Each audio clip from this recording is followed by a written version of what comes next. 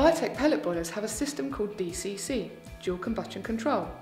This is a patented way of controlling both the amount of fuel and the amount of air that is introduced into the combustion chamber at any one time, through a feedback loop within the boiler that is looking at the output from the lambda sensor and two air sensors, primary and secondary.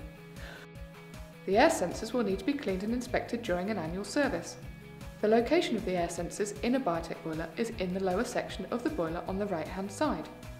The lower sensor is the primary air, the upper sensor is the secondary air. The air sensors work by measuring the flow rate of the air coming past the sensor into the boiler. Over time, the air sensors will get dusty, which will affect their ability to read correctly.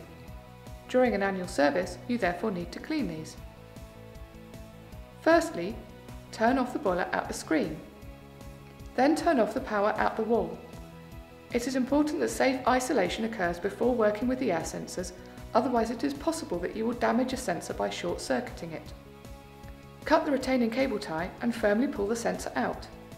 It is best just to remove and clean one sensor at a time so that you do not mix them up.